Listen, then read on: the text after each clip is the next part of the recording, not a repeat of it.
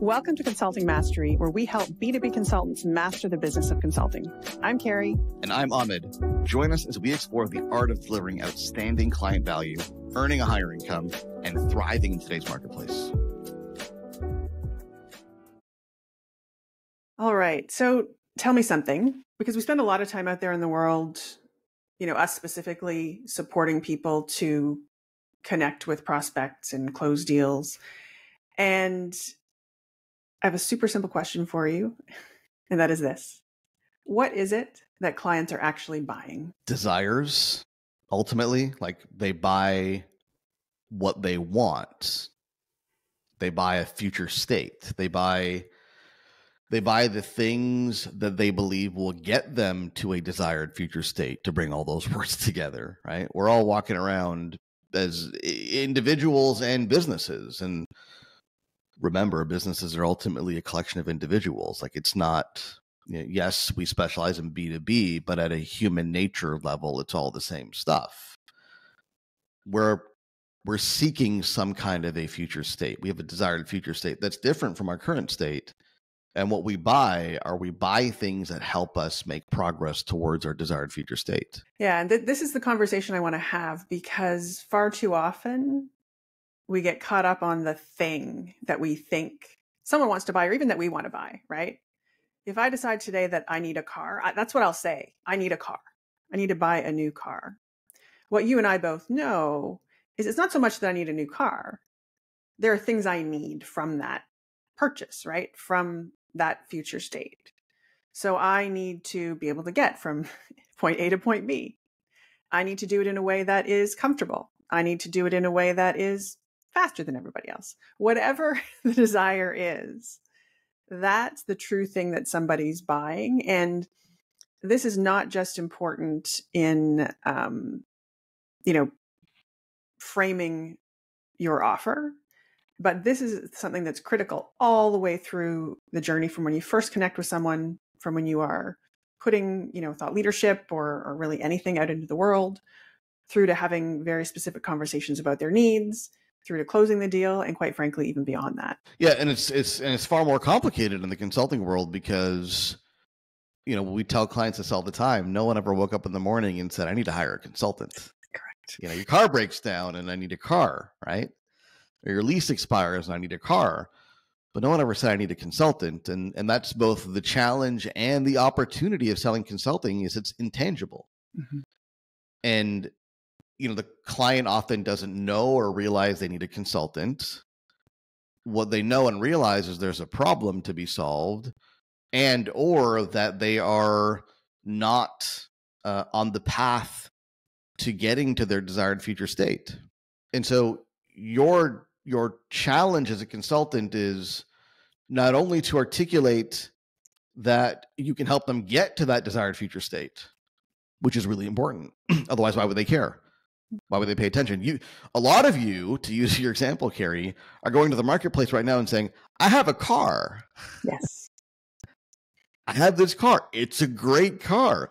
It's got air conditioning. Like I'm, like I said, that's a feature now, right? What what are modern features? It's got massage seats, right? It's got you know quad zone climate control, right? It's got yeah. self parking. It's got mm-hmm. all these things, right? And the client's like, "Oh, I don't need a car." So I'm not going to pay attention to you. Their well, question is who can get me to my desired future state more yes. than what does your car look like? Yeah, and it's worth recognizing that we'll stick to the car the car story for a moment here. It's also not the only solution. I think that's the other thing that consultants often you know where a mistake happens is going out into the world as if your solution is the only one or if it's about choosing between consultant A and consultant B, when the reality is I can buy a car, I can rent a car, I can take the bus, I can call an Uber, you know, take a taxi. Same thing out there in the world of solving problems, right? I can decide to hire someone internally. I can decide just to live with the problem. I can decide to bang my head against the wall for the next six months. You know, there are many ways to approach the problem. And if you believe that your client is already at a place where they're looking for a consultant, if they haven't overtly told you that, then you're going to get yourself into into trouble because you're far too far down the conversation path and, and certainly beyond where they are. Yeah, and look, let's let's be honest about this, right? So the the challenge here is you as a consultant, as an expert, you know, you you're somewhat enamored with your own expertise, right? Yeah. You're drinking your own Kool Aid, and we all do it. We're guilty of it too.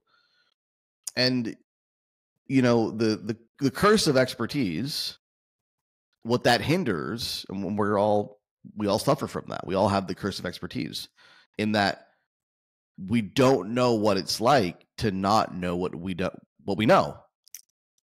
Right? We, we we forget what the before at some point you didn't have this expertise.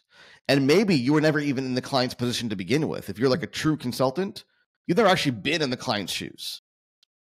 And that hinders empathy right? That creates an empathy gap. And maybe you were in the client's shoes, solved the problem, now became a consultant, there's still an empathy gap because you don't really remember what it was like to not know what you know. And so when you have this this expertise, and this is kind of the, the, the crux of the challenge of commercializing expertise and selling consulting, is it's hard to meet the client where they're at because to you certain things are obvious. Obviously you need this. Obviously in your situation in your context you need to do this but it's not so obvious to them. And and so to me it kind of comes down to i think a lot of people feel like having expertise is sufficient. Hmm. i have this expertise why aren't people buying it? I have this expertise it should be deployed. But there's a difference between having expertise and commercializing expertise commercializing expertise requires doing all the things that you just said which is contextualizing who's it for what do they want? How can my expertise get them there? And how can it get them there more efficiently and more effectively with a higher rate of success than all the other available options to them? And it's not just about resting on your laurels and going, well, I'm an expert at X, so you should hire me. That doesn't get you hired. And it's tricky business. I mean, you said it, and let's say it again it's hard to meet the client where they are. And what you really need to do here what we're you know what you're trying to do all the time when you're having these conversations is get to a place where the solution can be delivered to a client who needs it right like that's the at the at its base the simple way of describing what needs to happen but because we're dealing with people potentially two people potentially more if you're you know selling into an organization there's the kind of factual version of this solution will solve this problem. But the, the real thing that you're dealing with is everything around that, right? Your perception of the problem, their perception of the problem.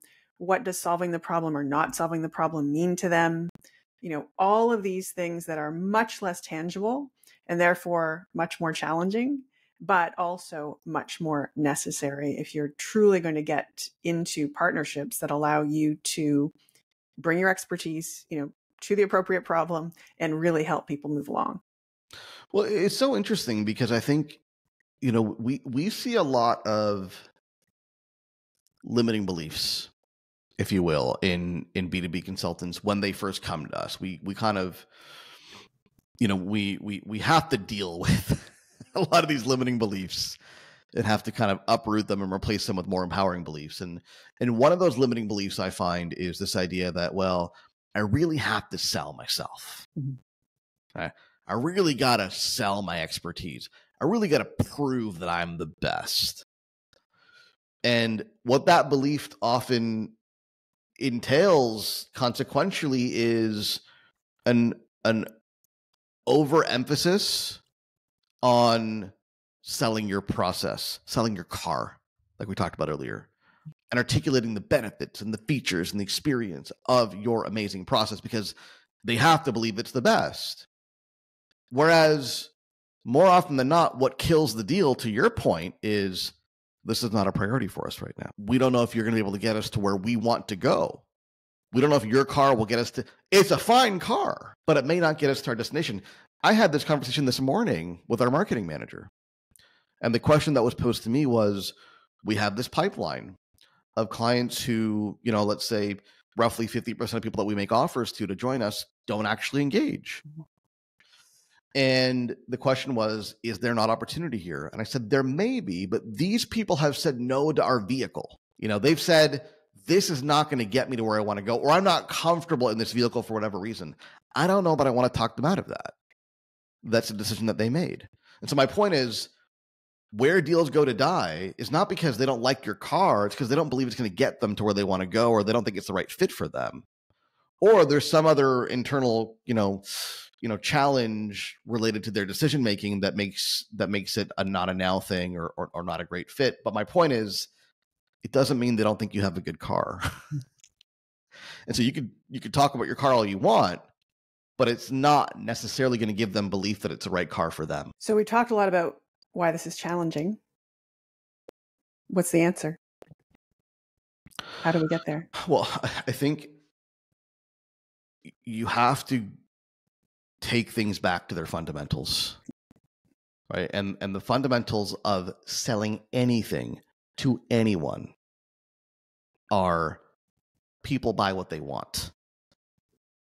They buy things that they want because they believe that those things will get them to where they want to go right? They have goals they have a desired future state they have they have things that they want to achieve in life and in business and they buy the things that they want to engage with in order to get to that destination. And so i think what you have to do is kind of put your car aside for a moment and really understand where do my people want to go what are they trying to achieve? What are their goals?